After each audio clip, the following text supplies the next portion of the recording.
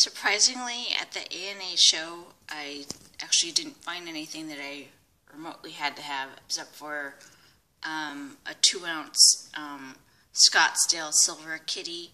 Um, I'm sure you've seen them in Lady Liberty Stacker's video. It's those round ones that are kind of like, I guess they're like high relief or whatever, but you could stack them. And they're they're come in the one ounce, two ounce, I think a hundred gram, maybe five gram at the most. I'm not sure. Anywho, um, I was tempted to buy one. I didn't, um, but I did get this with my profits, and I um, I uh, unpackaged it so it wouldn't be such a problem.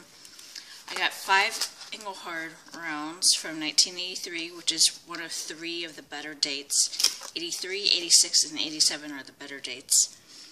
And these are all 83s.